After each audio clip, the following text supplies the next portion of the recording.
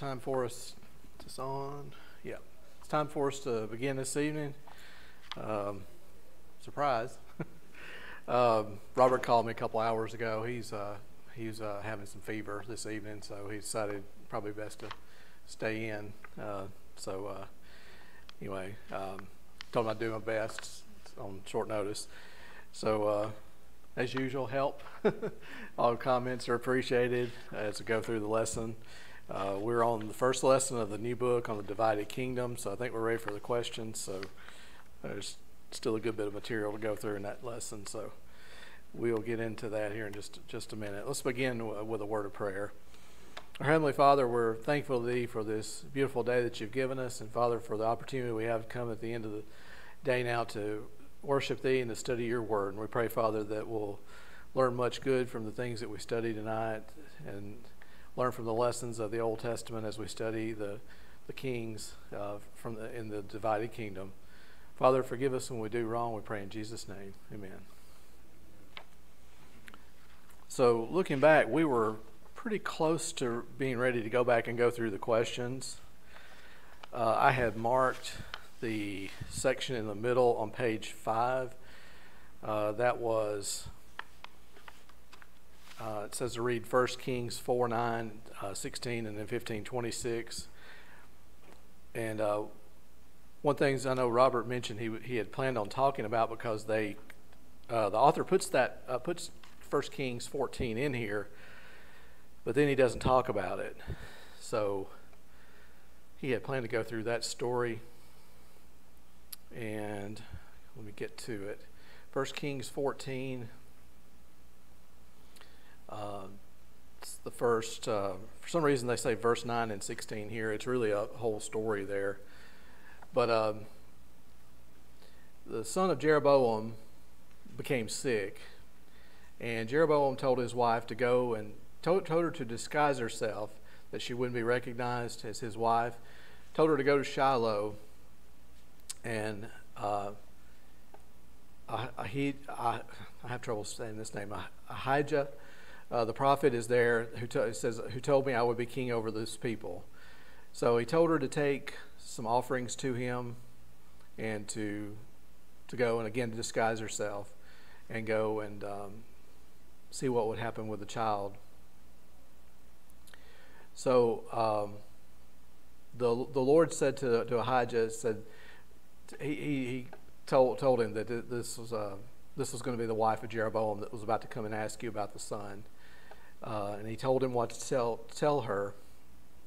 And he also told, told, her, told him that she would be pretending to be another woman. So he, uh, so he heard her come to the door and uh, says his eyes were really bad, were glazed over in his old age, so he wasn't able to see, but, but he heard her come in. And um,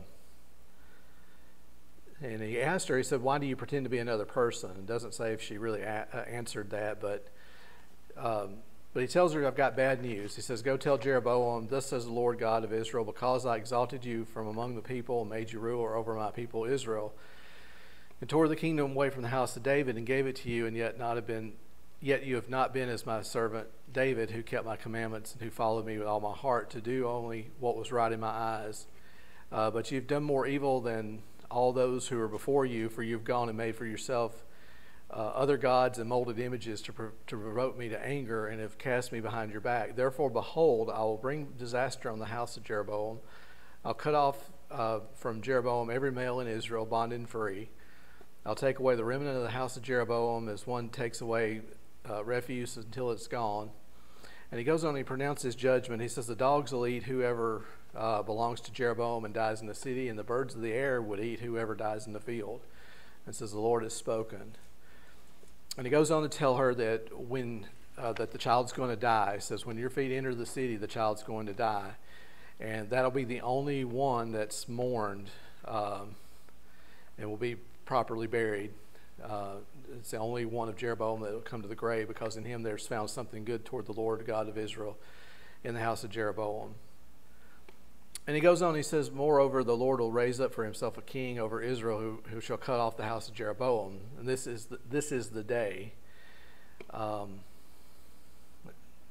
And it goes on, and it, and it does say that when she uh, she departed, and when she got to the threshold of the house, that the child died, and just as the Lord had told her, told uh, her through the uh, through uh, Ahijah, that, that they buried him, and they all mourned for him, according to the word of Ahijah the prophet. And so that leads up. That's that's the story there. For some reason, it's not really talked about in the book, but um, but we see there. What's that? It's the child. Um, the name is given. It's Abijah, the son of Jeroboam. It's in verse one. It says, "At that time, Abijah, the son of Jeroboam, became sick." So this was a I don't know if it tells. I don't think it tells us how old, but apparently it was a pretty young child uh, that was that was sick. But this sort of seems to have been the sort of the last straw. This was sort of ushering in the transition away from from Jeroboam. Matter of fact, the next paragraph in chapter 14 uh, talks about how Jeroboam dies and Nadab, his son, reigns in his place.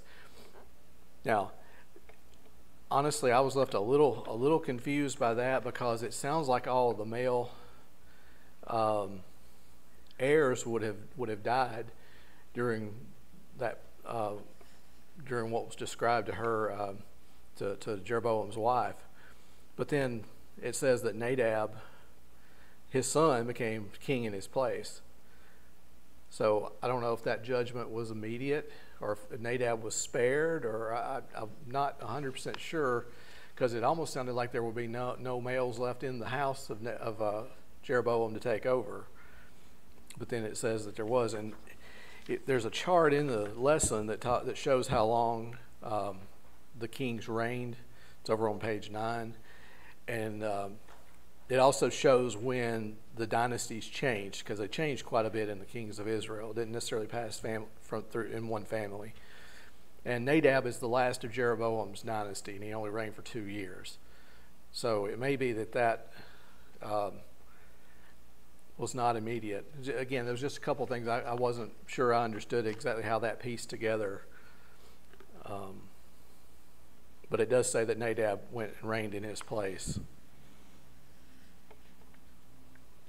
But again, I know Robert said he wanted to cover that, but for some reason the, the book does not talk about it, even though it references the, the verses. Um,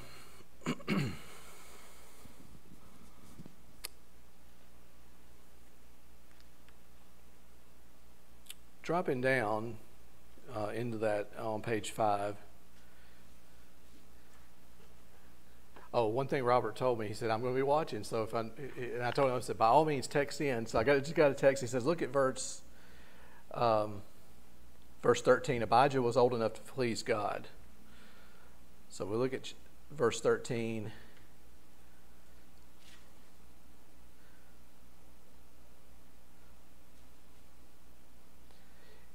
It says, because in him some, there's found something good toward the Lord God of Israel in the house of Jeroboam.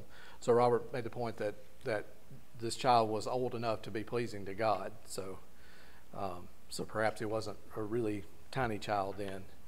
Uh, I still don't. It, I don't think it gives us a sense of exactly how old, unless it's found in another another chapter.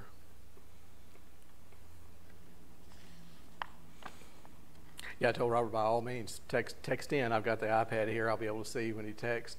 It'll just be probably 30 minutes, 30 seconds behind is only the only thing. But that's just the nature of uh, that's just the nature of the live stream and um, and being live here. So it goes on and it talks about uh, the fact that there were 19 kings of Israel, starting with Jeroboam, going all the way to Hoshea. Hoshea. Um, it says the inspired record will say of each of the, say of each of them, he continued in the sins of Jeroboam. So, in the words of this author, at least, Jeroboam sort of blazed the trail for 200 years of of uh, disobedience to God. Now, there is one break in there that I question. We'll probably get to it a little bit later as far as the history of the kings of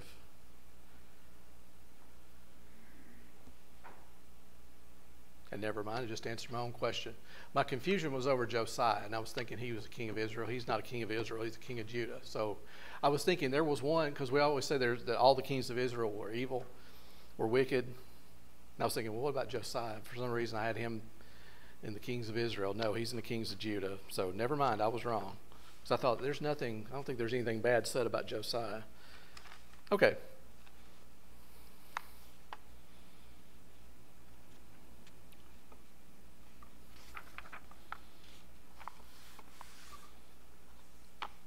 And one thing neat about this book, they do show some interesting photographs here and give some captions that explains, you know, shows kind of what some of these sites looked like or believed to, to have looked like. You've got one there, it's a entrance of a city gate and um, one of the high places uh, down there below it.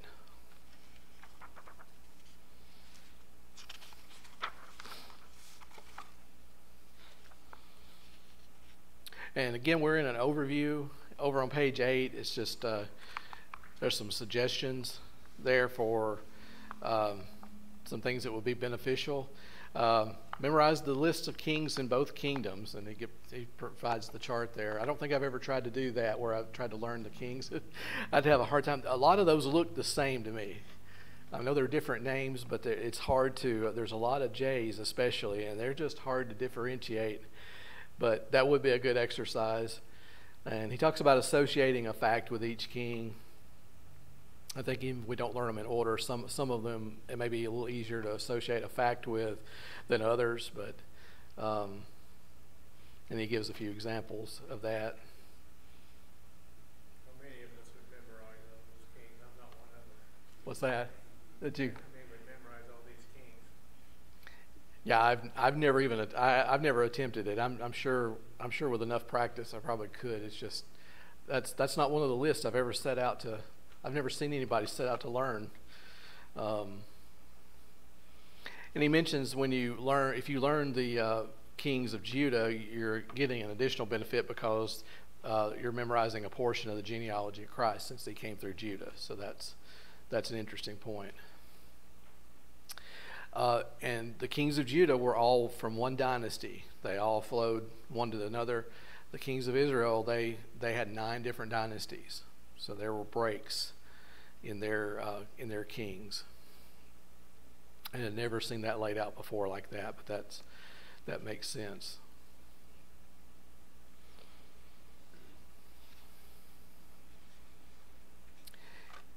Seeing in the text here if there's anything else we want to talk about before we go to the questions. Um, he talks there at the bottom of chapter 9 or verse page 9 um, about how God wasn't really concerned about all the building programs or their fame or their political shrewdness that really it was one single concern and that was whether or not the king did right in the sight of God or not and that's ultimately true. Um, and he makes the point. He says, "Isn't that true? This is all that matters about us." But that's ultimately, you know, the earthly accomplishments didn't really mean a whole lot um, to God. It was whether or not uh, they obeyed God and and uh, walked with God. And he reiterates on page 10 that in Israel all the kings did evil in the sight of the Lord. Uh, there were 19 in Israel, and there were 20 in uh, Judah, all totaled. Um, of course, in Judah, some were wicked and some were, were not. And let's see. I think that's everything from the text, maybe that wasn't covered. Any comments or questions on that?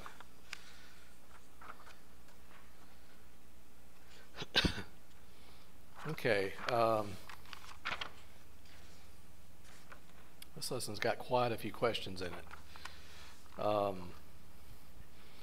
so back on page one, number one, I had God forbidden marriage to the kind of women Solomon selected as wives. Yes. Yeah, he, he made a lot of, uh, he married a lot of, of wives just for political reasons. So they were all he married a lot of different, a lot of different races, a lot of different, um, from a lot of different nationalities, not just, um, not just from the Jews. You remember how many wives, how many wives Solomon had? Too many? I think I heard the more precise answer on this side 700. And then he had 300 concubines. So 1,000 total. What's that? It's supposed to be what? Be really smart. He had a thousand, a thousand wives. He was supposed to be, re- but he was supposed to have been really smart. that's, that's true. I yeah. I probably don't need to say anything more about that. That's just how how on earth.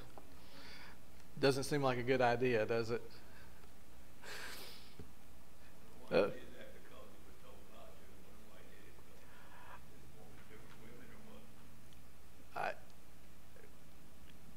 I, I don't know. That you're you're you're right. He he, he knew very well in in his wisdom he, he knew that was wrong and yet he, he, he did it and and not only did it just a little he again a thousand he he he went all the way That just goes to show you how much influence a woman can have over a man. Mm-hmm. And men are warned about about that. They seem to be uniquely warned about uh, how uh, a, a woman of the wrong type can can guide you away, lead you away. Yeah, that's a good that's a good point. I mean, it's we.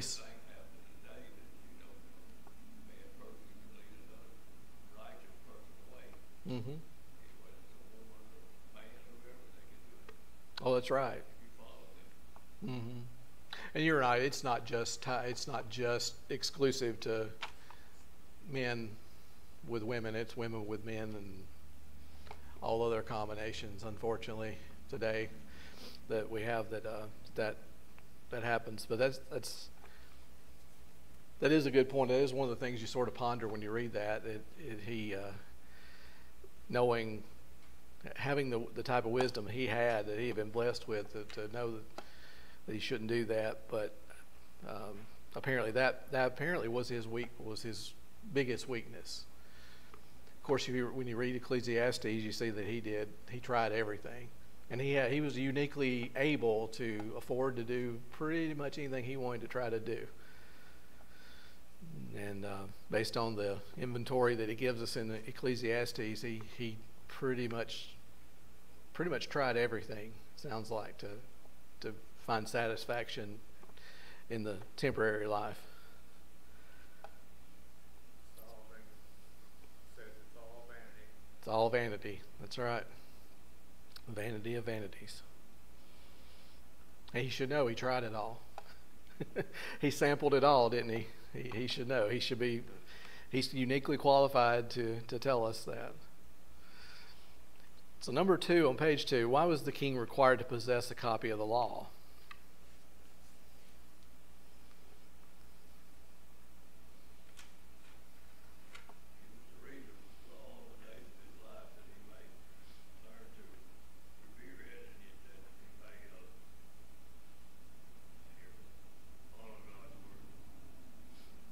Okay.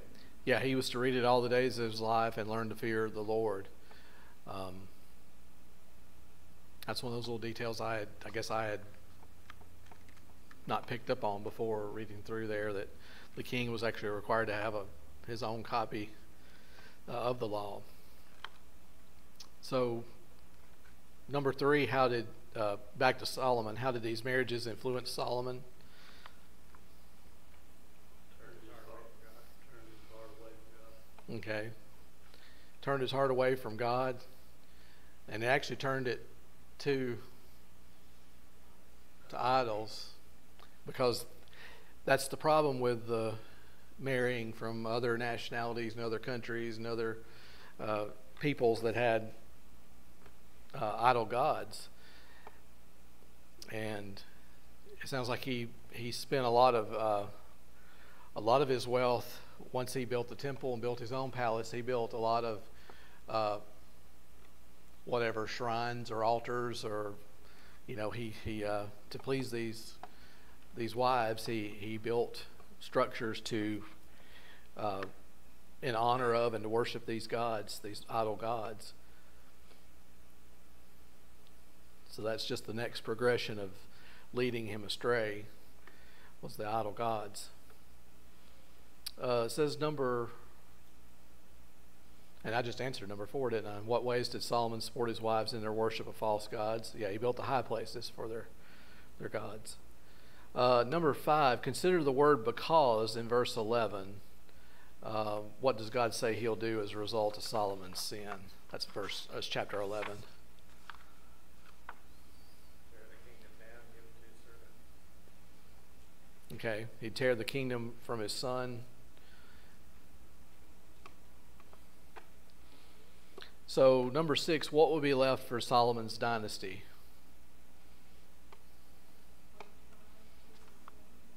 Just one tribe, Judah. And why was that? Why did he why did God not take everything?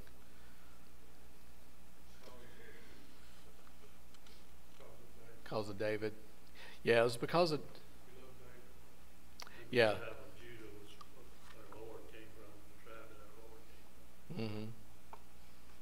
hmm And even after his death, God still showed favor to David.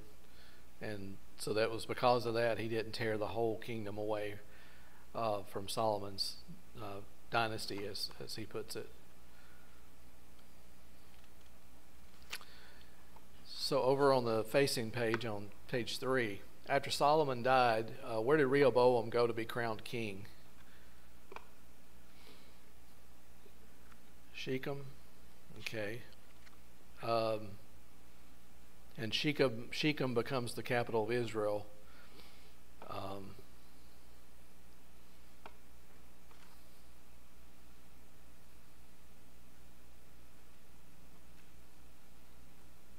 I got a, I got a text from Robert here. It says uh, Deuteronomy, Deuteronomy 17, 7, 17, 17 through 18. The king was, to write a copycat of the law, not just have a copy. Okay, let's see. May have missed a little detail. I'm going to flip over there to uh, Deuteronomy 17. 17.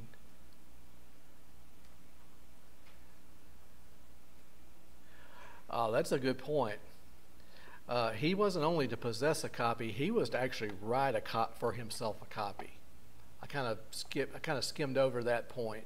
It says over in Deuteronomy 17, 18, it says, When he sits on the throne of his kingdom, that he shall he shall write for himself a copy of this law in a book from the one before the priests, the Levites.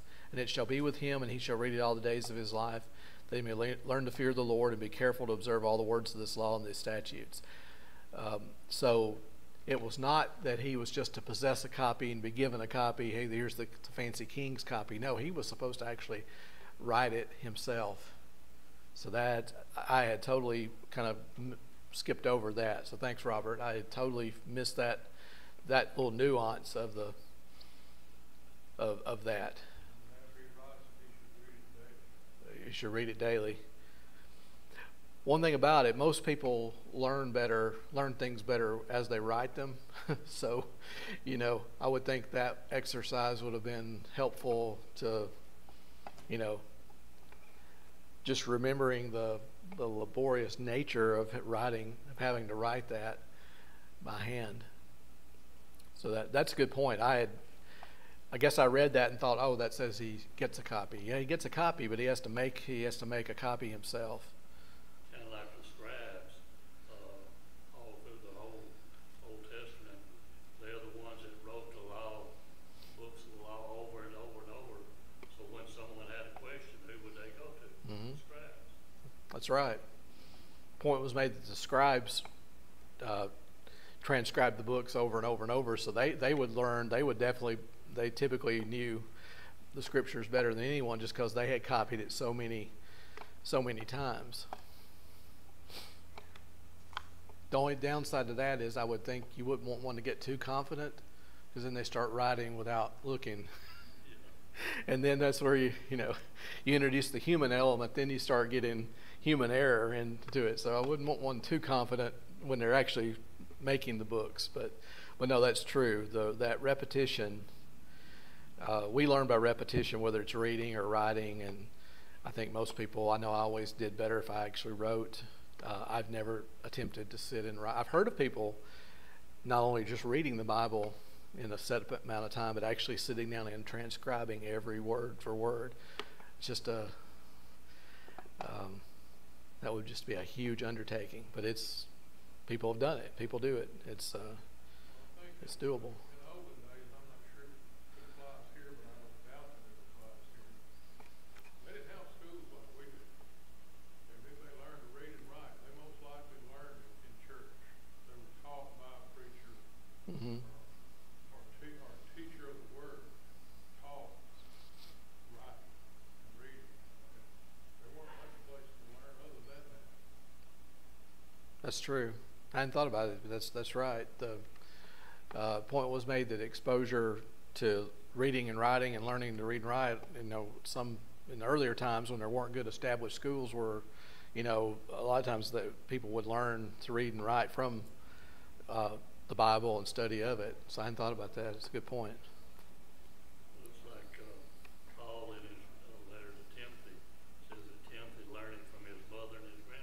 Looks That's right. Timothy learned from his mother and grandmother. And that's a typical way that most people, the vast majority of people, learn a lot of what they learn, especially early in life, from their parents. Uh, let's see. Did we get. Oh, yeah, we got to the next page. So, number two on page three. Uh, what did Jeroboam say to Rehoboam?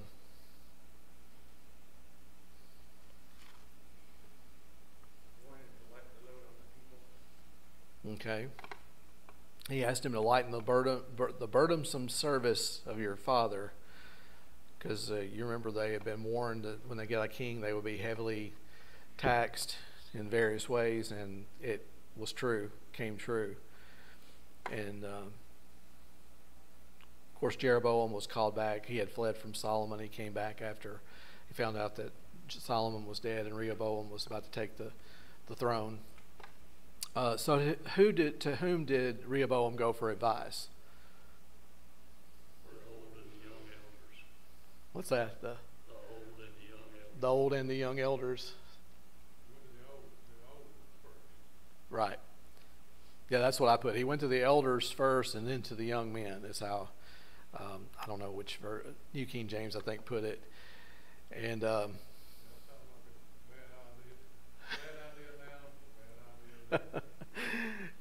a bad idea. To?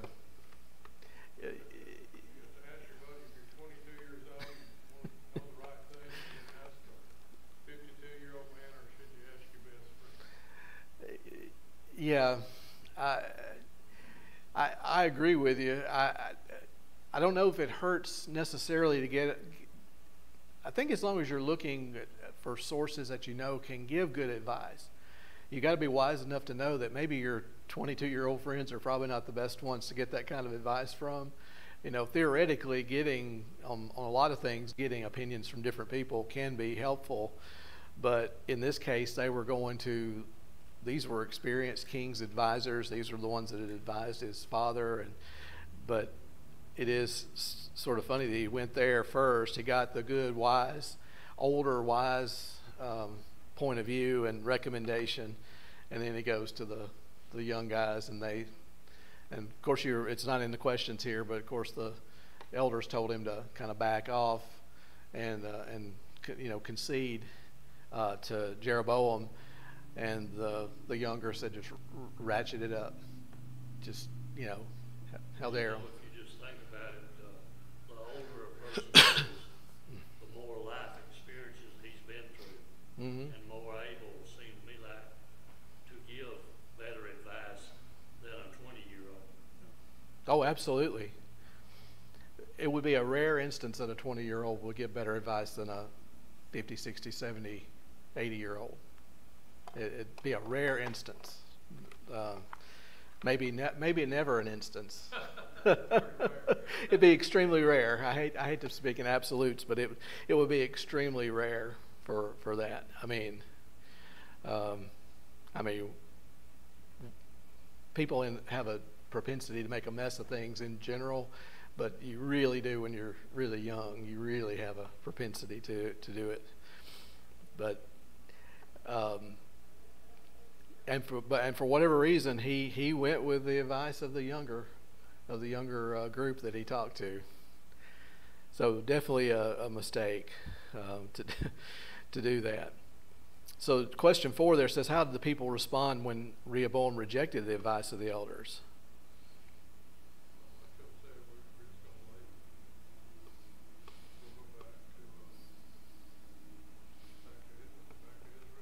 Mm-hmm. They said they returned to their tents, Israel.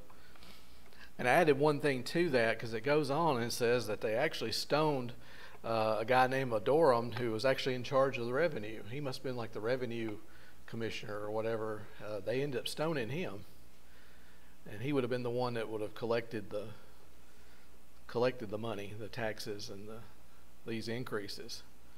So. Um, let's see, that's in verse 18 of chapter 12. Um, it says, All Israel stoned him with stones, and he died. And that then Rehoboam fled to, fled to Jerusalem. And that's when the rebellion of Israel started. So, yeah, um, yeah, big mistake there for sure. Big miscalculation. Um, on uh, Rehoboam's part. I don't know how to say it, but when young people are talking to older people, the old person remembers how to do it right. The young person has a lot of new ideas. I went down and helped somebody do some electrical the other day, and what I know is good, but you know, all these new widgets and fancy things that I've Mhm. never seen before work much, much better. Mm-hmm. So I kind of understand, you know, we wouldn't go to the younger people. Yeah, Should, yeah. that that's true, and and, it, and there could have been some element of that. There, there maybe they maybe they had. I, I don't. We're not really told here, but maybe they had some angle to why that was a wise thing to do. Would have been a wise thing to do. Maybe they had a. may- Maybe they sold did a good job selling it. I don't know. It may not have. It may not have been as simple as, uh, yeah, you should listen to Jeroboam. Now I'll ratchet it up. You know, it may not have been as simple as those blunt messages, just the way I'm standing up here saying it. it there may have been some. Um, he may have been sort of, sort of sold a bill of bill of goods, maybe on why this was, and they may have believed it. They may have actually believed that that was a good a good idea. I don't I don't I don't know. just the way he spliced wires and things like that, I've never seen before. Mm. But you can buy that little tool at Lowe's, it's Mhm. I would never have bought it with that what it is. Oh yeah, and and things like that, you know, with electrical work and that kind of things do things improve over time. People, there's never there, there's a never ending stream of inventions of tools and aids for different things like that. So, yeah, there are cases where a younger person might have some piece of knowledge that may work better than what the older person maybe learned you know, maybe that hasn't kept up with it. If you're talking in terms of a trade, like we're talking about electrical work, but that's knowledge, though. That's not really wisdom, either. Because if that, because if that new tool, fancy new tool, costs uh, you know hundred thousand dollars and it's not going to give you a good return on that investment, um, the older person is probably wise enough to know that that's not it would not be a wise decision to buy it, and where the young guy might be out taking a you know, taking a second mortgage on his house in order to buy one because it's just the neatest little thing. It's going to save him, you know, whatever per, you know, per per year. But um, but generally, go go with go with those who have been there, who have the experience, who have the the, the knowledge and the wisdom to to give good good counsel, good advice. And again, generally, nothing against the 20 year olds. There's just, just generally that's not the place to go uh, for experience. Their first taste of wisdom is to know to go to the older, to the older ones and get get some counsel. So the next uh, bank of questions we got's on page four. This uh, this book's kind of in a little, this lesson's in a lot of sections because it's an overview. Uh, here we're talking about how Jeroboam basically developed a new religion. Uh, is how the title there makes it sound. Says Jeroboam made four unauthorized departures from God's ordained worship. So, number one, how was the object of worship changed?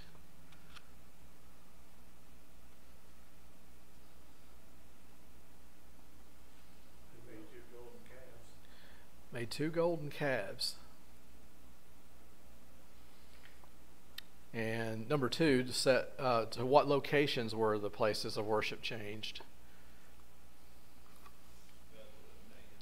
Okay, he put one in Bethel and one in Dan. Number three says what change was made regarding the people who served as priests.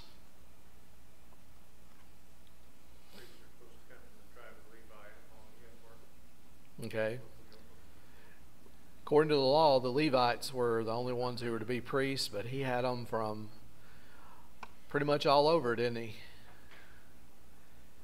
Uh, he had them from different tribes other than the Levites. So that was not in accordance to the law. Uh, number four, to what time was the feast changed? Uh, the annual Feast of Tabernacles. And he, he, give, he gives it here. He says it was authorized for the seventh month, the 15th day.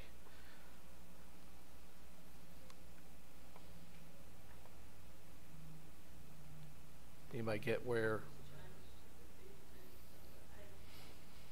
Okay, the 15th day of the eighth month. So he moved it out a month, basically, for whatever reason. I don't know if there was any reasoning behind that, if that was just arbitrary. Um, he um, was essentially making changes to make changes. Um, and I don't know if this plays into what we were just talking about, but uh, in the middle of the page there, uh, this author says the source of the changes were his own heart, and that's per verse 33.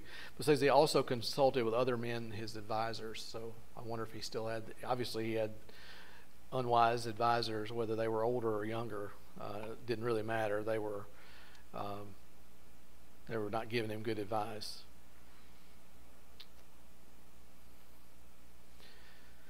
So at the bottom of that page, there's some related passages, and these come from um, other books. First one's Jeremiah 10:23. It says, "What does God say about man's ability to direct his own steps?"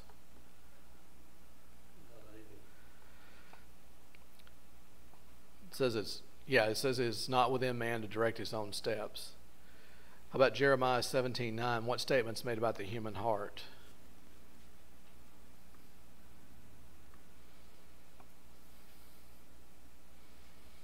Hard and deceitful about all things and desperately wicked. And who can know it? I think how he ends it. Yeah, he says, The heart's deceitful above all things, it's desperately wicked, and who can know it?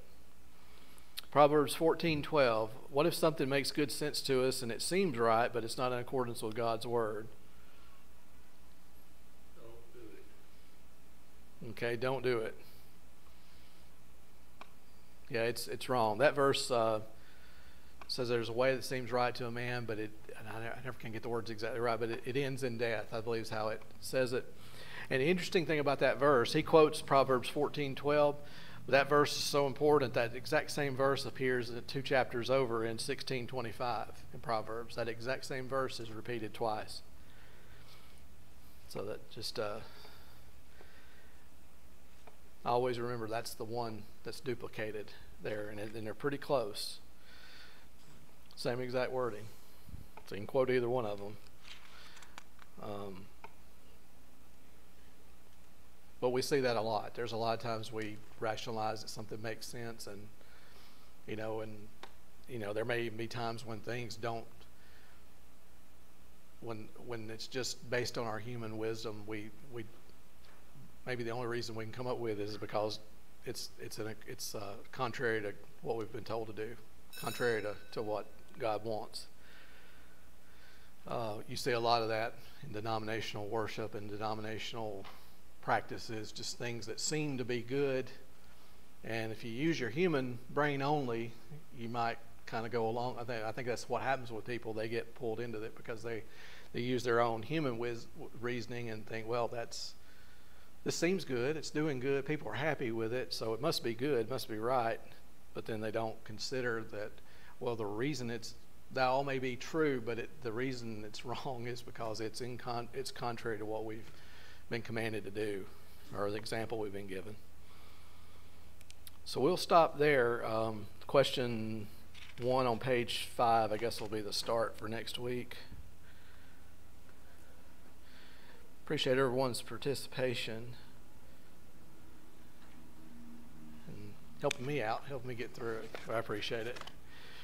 Hopefully, Robert will feel better. Be back. Be back soon.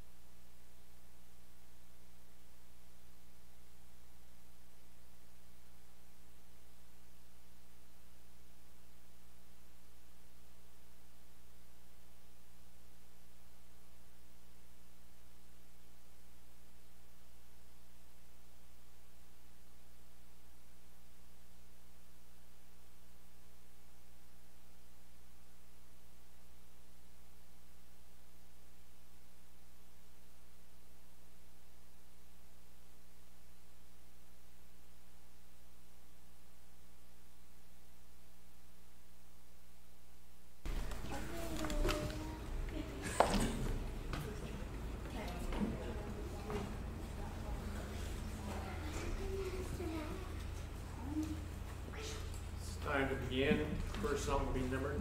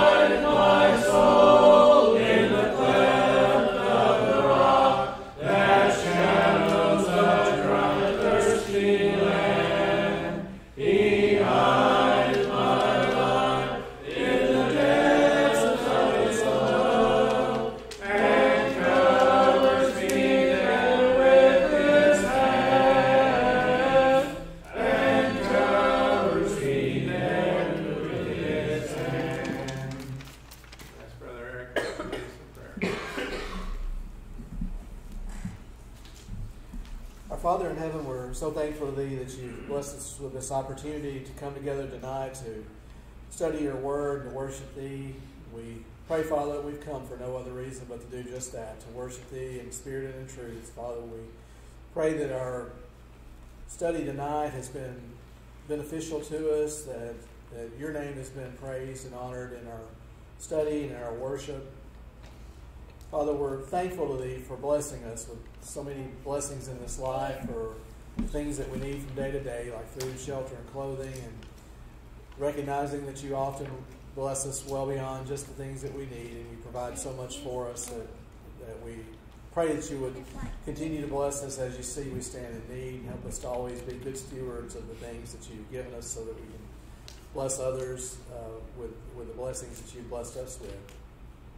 But most of all, Father, we are thankful to Thee for Jesus, Your Son, our Savior, who came to this earth and lived as a man and then went to the cross uh, after living a perfect life as an example for us, for going to the cross and giving His life there so that we might have the hope of eternal life when this life is over and for you're confirming to us that his sacrifice would stand for our sins and raising him up on the third day, Father. We're so thankful to thee for this assurance that you've given us. And we pray, Father, that you'd help us to spread that gospel to others uh, as we live here on this earth. Father, we are mindful of those of our number that are sick at this time. Father, we pray for them. Pray that you would be with them as they recover, be with those ministering to them. Pray that they would be uh, given a measure of their health back as soon as possible, be your will. And likewise, Father, for those that are grieving, we pray your comfort on them. Father, we pray that you forgive us when we do wrong. We realize we often sin and fall short of your glory. We often leave undone things that should be done, Father. And we pray that you would just help us to put away these things, the things that hinder us, and go toward the things that would make us better Christians in your sight. Father, be with us as we continue into this short worship service tonight. Help us to, again, to clear our minds and focus on Thee as we worship intently on Thee. Father, at the end of life's way, we pray that we would have been faithful such that by your grace and mercy that you give us that promised home in heaven with Thee. We pray all these and all these blessings in Christ's name. Amen. 22. All the way, my Savior leads me. What am I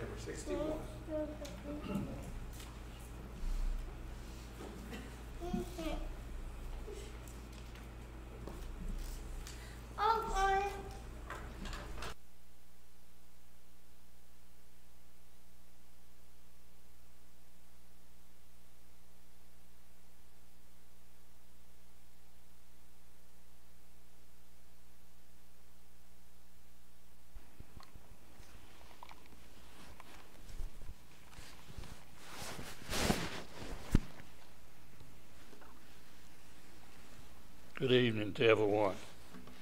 Good to see each of you here this evening. This is going to be a short invitation. I'd like for each adult here this evening to ask yourself this question. And it, it is an important question. Ask yourself, Am I saved? Am I saved? And you can answer this question and know this question by these next four questions that I'll ask each of us to ask ourselves. This next question Do I believe in God? Do I believe in God? Now, the answer to all of these questions has to be yes, so that I can know that I am saved. Yes, I believe in God. This next question Do I believe Jesus is God's Son? Do I believe Jesus is God's Son?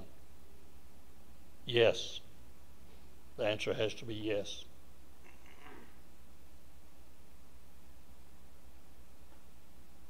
This third question Am I sorry for my sins? Am I sorry for my sins? The answer has to be yes. Yes, I am, so- I am sorry that I've sinned against God.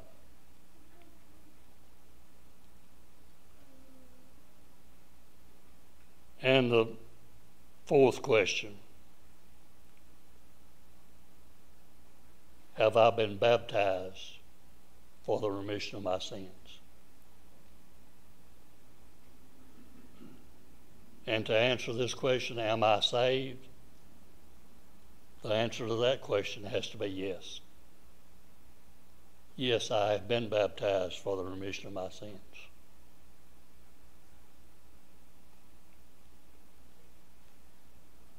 in the second chapter of Acts, just after the apostles had been baptized by the Holy Spirit, they began to speak in different languages, languages that they had never studied. And Peter and the rest of the apostles went out into the courtyard there and began to preach the gospel to the people. And at one point, the people, it says the people were pricked in their hearts. In other words, they were convicted of their sins. They were convinced of their sins.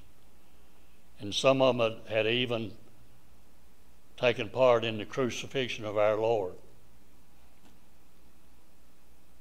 And those that were convicted of their sins asked Peter and the other apostles, Men and brethren, what shall we do? They were asking what, what they needed to do to be saved. And Peter told all, all of those that were convicted of their sins to repent and be baptized, every one of you, in the name of the Father, the Son, the Holy Spirit and you'll receive the gift of the Holy Spirit. And the scripture goes on to tell us a little, a few verses later that that day about 3,000 were added to the apostles. about 3,000 were baptized for the remission of their sins. Now, if there's anyone here that didn't answer yes to all these questions, that can be changed even tonight. I know because it, it's you're here that you believe in God, or you wouldn't be here.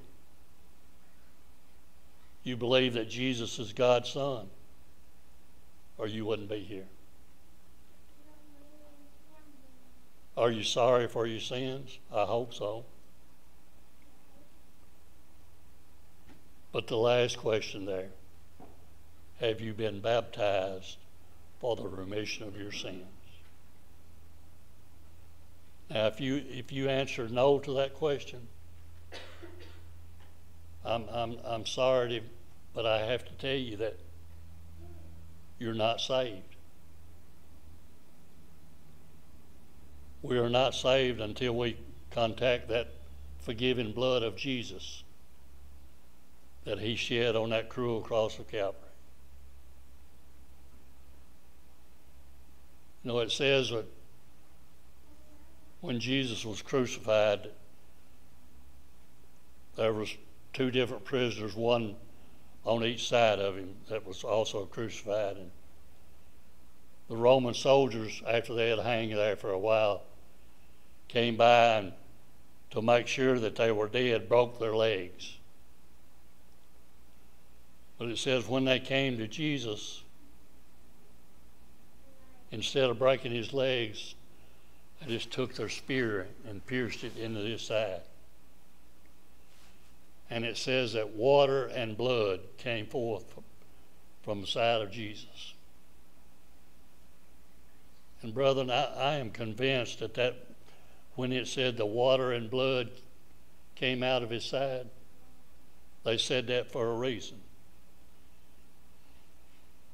That water denotes baptism. That blood denotes how we come into the contact with that blood through baptism. So tonight, if, if your answer is no to question four, have you been baptized? You can change that even this hour. We have water prepared in the baptistry. We have clothes for both men and women. Everything is ready.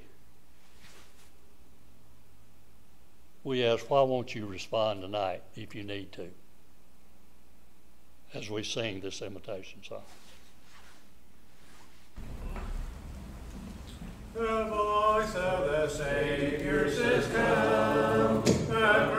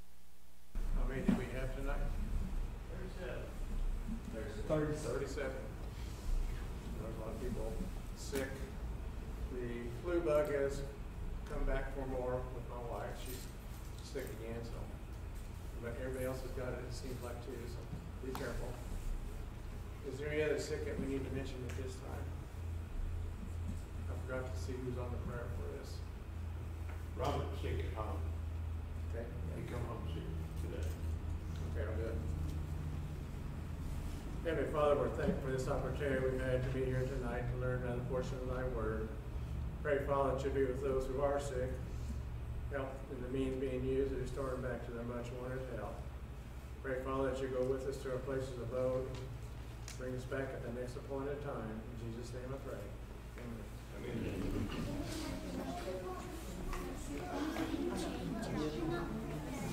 You do.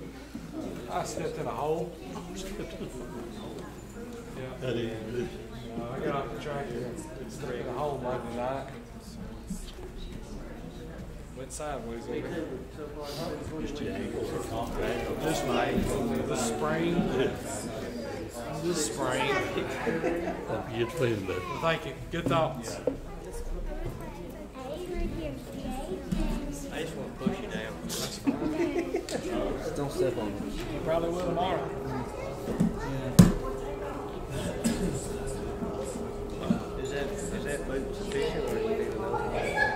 It's fine. I was going to tell you that I